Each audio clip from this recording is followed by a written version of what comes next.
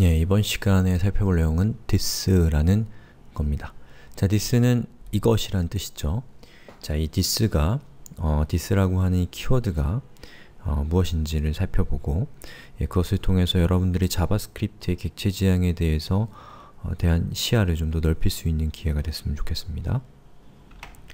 자, 여기 제가 this가 무엇인가를 정의해 놨는데요. 말이 너무 어렵기 때문에 자, 이 말은 나중에 여러분들이 this를 이해한 다음에 시간이 지나서 어, 다시 공부를 할 때 그때 빠르게 여러분들이 익힐 수 있는 내용이고 이것 자체로 this가 무엇인가를 설명하는 것은 어렵습니다.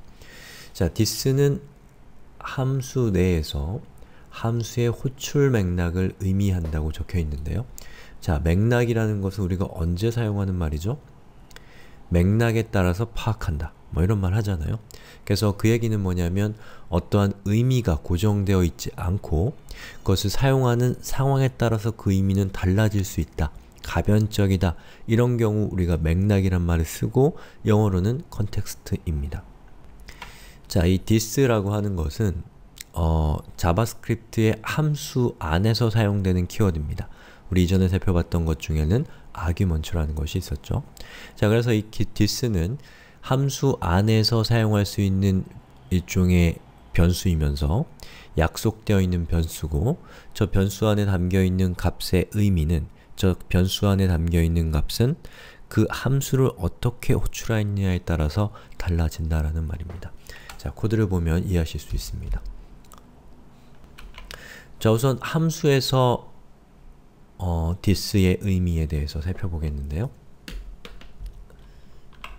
자, 콘솔을 키고요. 이 콘솔에서 제가 여기 있는 코드를 카피했어요. 자, 그래서 지금 펑크라고 하는 함수를 제가 실행을 시켜서 사용할 수 있는 상태로 만든 겁니다.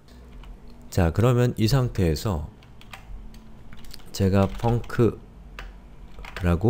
실행을 하면 어떻게 될까요?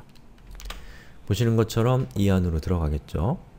그래서 조건문에서 window, 우리 이전 시간에 window라고 하는 것은 어, 클라이언트 JavaScript, 정확하게는 웹브라우저 JavaScript에서 전역 객체의 이름은 window다 라고 말씀을 드렸죠.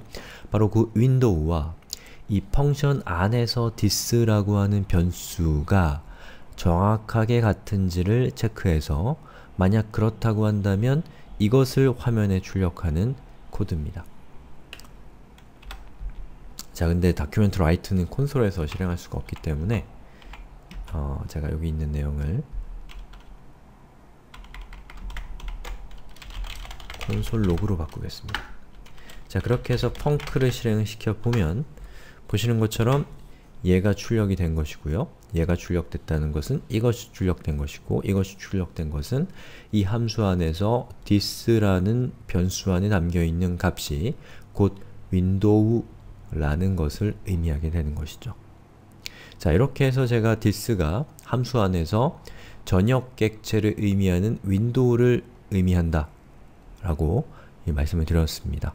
예, 그렇게 해서 어, this가 무엇인가에 대한 가장 기본적인 의미를 살펴봤는데 여기서 일단 동영상 끊고 다음 동영상에서는 이 함수를 다른 방식으로 호출했을 때 this의 값이 어떻게 바뀌는가를 살펴보겠습니다.